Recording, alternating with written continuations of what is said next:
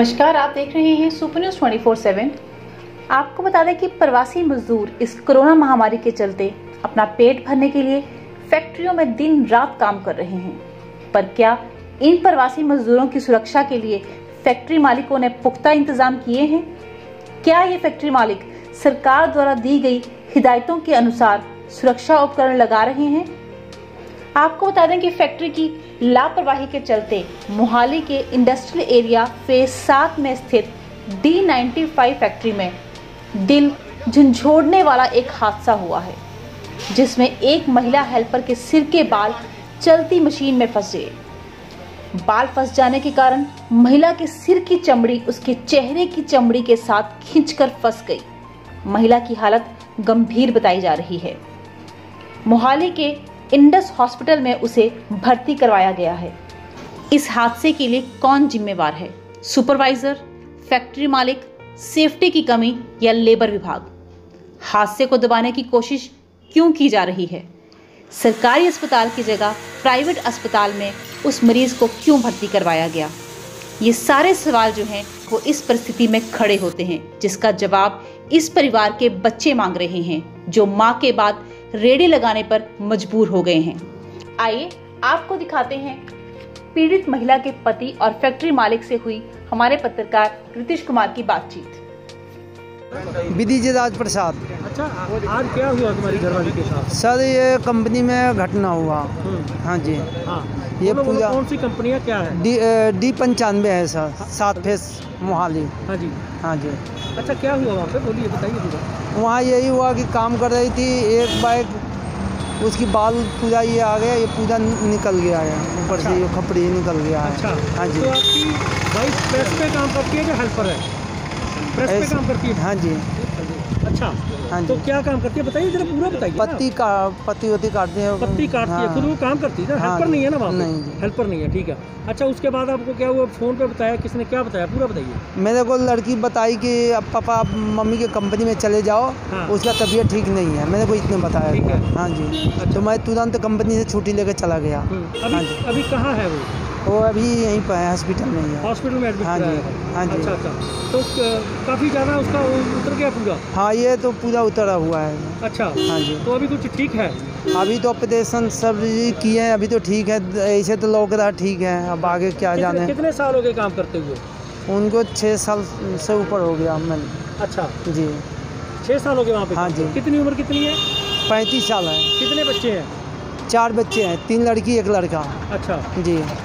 तो अभी फैक्ट्री वालों ने कुछ किया आपके लिए कुछ बोला अब- कुछ? अभी तो वही सब कर रहे हैं जी अभी तो कमी आए तो आप वही क्या लोग चाहते हो क्योंकि आ- जो वो बोल रहे हैं कि ये लड़की वहाँ पे काम नहीं करती थी हेल्पर थी वहाँ पे नहीं काम तो हेल्पर कर नहीं रहे थी ना हैं काम करती थी ना काम करती है प्रेस पे ਅ, ਇੰਦਰਜੀਤ ਸਿੰਘ ਛਾਪੜਾ ਛਾਬੜਾ ਸਾਹਿਬ ਅੱਜ ਤੁਹਾਡੀ ਜਿਹੜੀ ਫੈਕਟਰੀ ਹੈਗੀ ਜਿੱਥੇ ਡੀਜ਼ਲ ਦਾ ਸਮਾਨ ਆਉਂਦਾ ਜੀ 95 ਉਹਦੇ ਵਿੱਚ ਇੱਕ ਲੜਕੀ ਦਾ ਜਿਹੜੀ ਘਟਨਾ ਹੋਈ ਉਹ ਕੀ ਹੈ ਅ, ਸਾਡੇ ਸੰਜੂ ਨਾਂ ਦੀ ਲੜਕੀ ਸੀ ਉੱਥੇ ਮਤਲਬ ਲੇਡੀ ਹੈ।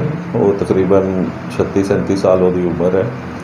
ਤੇ ਉਹਦੇ ਵਾਲ ਖੁੱਲੇ ਸੀਗੇ ਜਿਹੜੇ ਕਿ ਜਦੋਂ ਉਹ ਪੀਸ ਥੱਲੋਂ ਕੋਈ ਪੀਸ ਚੁੱਕਣ ਵਾਸਤੇ ਝੁਕੀ ਤੇ ਪਿੱਛੋਂ ਪੱਖੇ ਦੀ ਹਵਾ ਦੇ ਨਾਲ ਉਹ ਵਾਲ ਜਿਹੜੇ ਸੀ ਪ੍ਰੈਸ ਦੀ ਸ਼ਾਫਟ ਦੇ ਵਿੱਚ ਲਿਪਟ ਗਏ। ਤੇ ਜਿਹੜੀ ਕਿ ਇਮੀਡੀਏਟਲੀ ਪ੍ਰੈਸ ਰੋਕਣ ਦੀ ਕੋਸ਼ਿਸ਼ ਕੀਤੀ, ਪਰ ਉਹਦੇ ਨਾਲ, ਉਹਦੇ ਵਾਲ ਖਿੱਚ ਗਏ। ਤੇ ਸਕਿਨ ਦੇ ਨਾਲ ਉਹ ਉਤਰ ਗਏ। ਸਿਕਿਉਰਿਟੀ ਪ੍ਰੋਕਿਉਰਮੈਂਟ ਨੂੰ ਲੈ ਕੇ ਜਾਂ ਕੀ ਕੀ ਆਪਣੇ ਕੋਲ ਇੱਥੇ ਅਰੇਂਜਮੈਂਟ ਨੇ ਜੇਕਰ ਕੋਈ ਇਦਾਂ ਦਾ ਹਾਦਸਾ ਹੁੰਦਾ ਤਾਂ ਇਮੀਡੀਏਟਲੀ ਪ੍ਰੈਸ ਰੋਕਣ ਦੇ ਲਈ ਆਪਣੇ ਕੋਲ ਕੋਈ ਇੰਤਜ਼ਾਮ ਹੈਗੇ ਨੇ? ਜਾਂ ਉਹਨਾਂ ਸਿਕਿਉਰਿਟੀ ਵੇਸਟ ਜਿਹੜੀਆਂ ਆਪਣੇ ਇਸ ਤਰ੍ਹਾਂ ਸੀ- ਇਸ ਤਰ੍ਹਾਂ ਹੈ ਕਿ ਉਹਨਾਂ ਨੂੰ ਸਿਕਿਉਰਿਟੀ ਉੱਤੇ ਚੈੱਕ ਕੀਤੀ ਜਾਂਦੀ ਹੈ ਜਦੋਂ ਆਉਂਦੇ ਜਾਂਦੇ ਨੇ ਕਿਉਂਕਿ ਪ੍ਰੈਸ ਦਾ ਕੰਮ ਆ ਜੇਕਰ ਹਵਾ ਨਾਲ ਬਾਲ ਉੱਡਦੇ ਨੇ ਜਾਂ ਖੁੱਲੇ ਕੱਪੜੇ ਪਾਏ ਨੇ। ਨਾਰਮਲੀ ਸਾਰੇ ਸਾਰੇ EMPLOYEES ਦੇ ਵਾਲ ਬੰਦ ਹੁੰਦੇ ਹੈਗੇ ਪਰ ਹੋ ਸਕਦਾ ਕਿ ਸਵੇਰੇ ਬਾਰਿਸ਼ ਜਾਂ ਉਹਦੇ ਨਾਲ ਉਹਦੇ ਵਾਲ ਗਿੱਲੇ ਹੋ ਗਏ ਹੋਣ ਤੇ ਉਹਨੇ ਖੋਲ ਲਈ ਜਾਂ ਉਹਦੇ ਵਾਲ ਖੁੱਲ ਗਏ ਉਸ ਵਕਤ।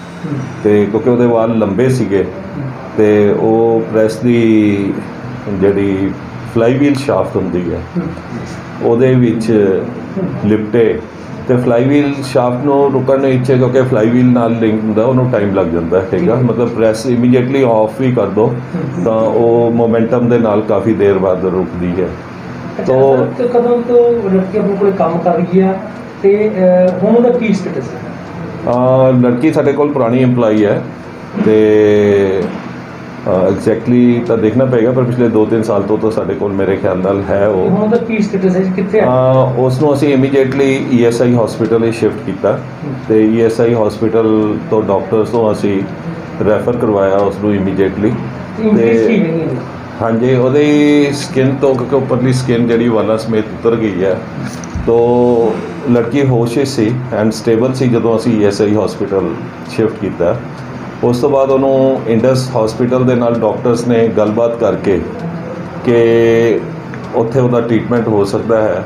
ਤੋ ਇੰਡਸ ਵਿੱਚ ਅਰੇਂਜਮੈਂਟ ਕੀਤਾ ਗਿਆ। ਹੁਣ ਇਸ ਵਕਤ ਉਹਦੀ ਉੱਥੇ ਸਰਜਰੀ ਚੱਲ ਰਹੀ ਹੈ ਤੇ ਕੋਸ਼ਿਸ਼ ਇਹ ਹੈ ਕਿ ਉਹਦੀ ਉਹ ਸਕਿਨ ਉਸੇ ਤਰ੍ਹਾਂ ਹੀ ਨਾਲ ਅਸੀਂ ਉਹ ਭੇਜਤੀ ਸੀ ਤੇ ਉਹ ਵਾਲ ਮਤਲਬ ਸਕਿਨ ਗ੍ਰਾਫਟ ਹੋ ਜਾਏਗਾ ਉਸਦੀ ਅੱਛਾ ਸਰ ਜਿਹੜਾ ਜਿਹੜੇ ਕੁਝ ਕੰਮ ਹੁੰਦੇ ਨੇ ਜਿਹੜੇ ਲੜਕੀਆਂ ਕਰਦੀਆਂ ਨੇ ਲੜਕੇ ਕਰਦੀਆਂ ਨੇ ਇਹਦੇ ਵਿੱਚ ਕੁਝ ਕੋਈ ਡਿਫਰੈਂਸ ਹੈ ਜਿਹੜੀ ਤੁਹਾਡੀ ਫੈਕਟਰੀ ਦੇ ਵਿੱਚ ਵੱਡੀਆਂ ਸ਼ਾਪ ਦੇ ਉੱਤੇ ਲੜਕੀਆਂ ਦਾ ਕੰਮ ਕਰਨਾ ਜਾਂ ਇਹਦਾ ਇਹਦਾ ਵੀ ਕੋਈ ਆਪਣੇ ਕੋਲ ਅਲੱਗ-ਅਲੱਗ ਪੈਮਾਨਾ ਹੈਗਾ ਕਿ ਸਾਰੇ ਜਿੱਥੇ ਮਰਜ਼ੀ ਕੰਮ ਕਰ ਸਕਦੇ ਨਹੀਂ ਲੜਕੀਆਂ ਜਿਹੜੀਆਂ ਹੈ ਬੇਸਿਕਲੀ ਇਹ ਤਾਂ ਪੀਸ ਚੁੱਕ ਰਹੀ ਸੀ ਥੱਲੋਂ। ਹੈਲਪਿੰਗ ਦਾ ਜੌਬ ਹੈਲਪਰ ਦਾ ਜੋ ਕੰਮ ਕਰ ਰਹੀ ਸੀ। ਪਰ ਅੱਜ ਕੱਲ ਲੜਕੀਆਂ ਜਿਹੜੀਆਂ ਹੈ ਮਸ਼ੀਨਸ ਦੇ ਉੱਤੇ ਕੰਮ ਕਰਨ ਲੱਗ ਗਈਆਂ ਸੀਐਨਸੀ ਮਸ਼ੀਨਸ ਤੇ ਵੀ ਕੰਮ ਕਰ ਰਹੀਆਂ ਹੈ ਹੋਰ ਵੀ ਮਤਲਬ ਲੇਡੀਜ਼ ਜਿਹੜੀਆਂ ਹੈ। ਮਤਲਬ ਇਹ ਸ਼ਾਫਟ ਇਸ ਤਰ੍ਹਾਂ ਇਸ ਤਰ੍ਹਾਂ ਦਾ ਐਕਸੀਡੈਂਟ ਹੋਣਾ ਮਤਲਬ ਜੇ ਬੰਦਾ ਪ੍ਰੀਕਾਸ਼ਨ ਲਏ ਜਾਂ ਇੱਥੇ ਕੋਈ ਇਸ ਤਰ੍ਹਾਂ ਦੀ ਗਾਰਡਿੰਗ ਨਹੀਂ ਹੁੰਦੀ ਹੈ ਬਾਈ ਮਸ਼ੀਨ ਸਪਲਾਇਰ ਵੀ ਨਹੀਂ ਪ੍ਰੋਵਾਈਡ ਕੀਤੀ ਜਾਂਦੀ। ਉਹ ਤਾਂ ਕਿਉਂਕਿ ਉਹਦੇ ਵਾਲ ਲੰਬੇ ਸੀ ਤੇ ਉਹ ਹਵਾ ਨਾਲ ਉੜ ਕੇ ਉਹਦੇ ਵਿੱਚ ਫਸ ਗਏ ਤੇ ਉਹ ਇਹ ਘਟਨਾ ਵਾਪਰ ਗਈ। ਤੇ ਇੰਡਸਟਰੀ ਏਰੀਆ 'ਚ ਕੱਲ ਮਾਮਲਾ ਹੋਇਆ ਇੱਕ ਮਹਿਲਾ ਦੀ ਖੋਪੜੀ ਜਿਹੜੀ ਬਾੜ ਲਾਈ ਗਈ ਨੇ। ਇਸ ਬਾਰੇ ਅਹ, ਕੀ ਕਹਿਣਾ ਚਾਹੁੰਦੇ ਉਸ ਸੰਬੰਧੀ ਕਹਿੰਦਾ ਅਸੀਂ ਕੱਲ ਸਾਨੂੰ ਸ਼ਾਮੀ ਰੁਕਾ ਆਇਆ ਸੀਗਾ ਅਸੀਂ ਪਰਦਾ ਉੱਥੇ ਕੇ ਭੇਜਿਆ ਸੀ। ਮੈਂ ਹੌਲਦਾਰ ਆਪਣਾ ਸੰਦੀਪ ਭੇਜਿਆ ਸੀਗਾ। ਉਹ ਡਾਕਟਰਾਂ ਨੇ ਠੀਕ ਹੈ ਨਾ ਉਹ ਲੜਕੀ ਲੇਡੀਜ਼ ਦੀ ਹਲੇ ਸਰਜਰੀ ਹੋ ਰਹੀ ਸੀਗੀ। ਉਹਨਾਂ ਨੂੰ ਅਨਫਿਟ ਦਿੱਤਾ। ਆ ਉਹਦੇ 8 ਘੰਟੇ ਕਹਿੰਦੇ ਆਪਰੇਸ਼ਨ ਤੇ ਲੱਗੋ। ਅਸੀਂ ਉਹ- ਉਹਦੇ ਅੱਜ ਦੁਬਾਰਾ ਉਹਦਾ ਬਿਆਨ ਲਿਖ ਕੇ ਠੀਕ ਹੈ ਅਸੀਂ ਕੱਲ ਦੀ ਰਾਊਟ ਪਾਈ ਆ ਉਹਦੀ ਅਨਫਿਟ ਦੀ। ਅੱਜ ਦੁਬਾਰਾ ਬਿਆਨ ਲਿਖ ਕੇ ਅਸੀਂ ਜੋ ਬਣਦੀ ਕਾਨੂੰਨੀ ਕਾਰਵਾਈ ਕਰਾਂਗੇ ਤੇ ਸਰ ਉਹ ਫੈਕਟਰੀ ਵਿੱਚ ਤੁਸੀਂ ਆਪ ਵਿਜ਼ਿਟ ਕਰਕੇ ਆਏ? ਠੀਕ ਹੈ। ਮੈਂ ਸ- ਅੱਜ ਸਵੇਰ ਕੀਤਾ ਵਿਜ਼ਿਟ ਠੀਕ ਹੈ ਨਾ? ਕੱਲ ਨਹੀਂ ਕੀਤਾ ਸੀਗਾ ਤੇ ਹੁਣ ਮੈਂ ਉਸ ਸੰਬੰਧੀ ਮੈਂ ਜਿਹੜਾ ਹਸਪੀਟਲ ਹੈ ਇੰਡੋ ਹਸਪਤਾਲ ਉੱਥੇ ਜਾ ਰਿਹਾ। ਸਰ ਉਹਨਾਂ ਦੇ ਪਰਿਵਾਰ ਦੇ ਜਿਹੜੀ ਲੇਡੀ ਦੇ ਪਰਿਵਾਰ ਨੇ ਕੋਈ ਦੱਸਿਆ ਇਹਦੇ ਬਾਰੇ ਉਹ ਕੁਛ? ਜਿਹੜੀ ਦੇ ਪਰਿਵਾਰ ਉੱਥੇ ਮੈਨੂੰ ਨਹੀਂ ਮਿਲਿਆ ਹੈਗਾ ਠੀਕ ਹੈ ਨਾ ਜੀ? ਉੱਥੇ ਮੈਂ ਹਸਪਤਾਲ ਦੇ ਵਿੱਚ ਜਾ ਰਿਹਾ ਉੱਥੇ ਇਹਨਾਂ ਨੇ ਉਹਨਾਂ ਨਾਲ ਗੱਲ ਕੀਤੀ ਆ ਵੀ ਉੱਥੇ ਆਓ ਮੇਰੇ ਕੋਲੇ ਠੀਕ ਹੈ? ਮੈਂ ਹਸਪਤਾਲ ਦੇ ਵਿੱਚ ਜਾ ਰਿਹਾ ਜੋ ਬਣਦੀ ਕਾਨੂੰਨੀ ਕਾਰਵਾਈ ਤੇ ਸਰ ਜੇਕਰ ਮਤਲਬ ਲੇਡੀਜ਼ ਦੇ ਉੱਥੇ ਕੋਈ ਸੇਫਟੀ ਦੇ ਸਾਧਨ ਵਗੈਰਾ ਇਹ ਵੀ ਚੈੱਕ ਕੀਤਾ ਜਾਊਗਾ ਵੀ ਹੈ ਕਿ ਬਿਲਕੁਲ। ਬਿਲਕੁਲ ਜੀ ਸਾਰਾ ਕੁਝ ਕੀਤਾ ਜਾਊਗਾ ਜੀ ਅਸੀਂ।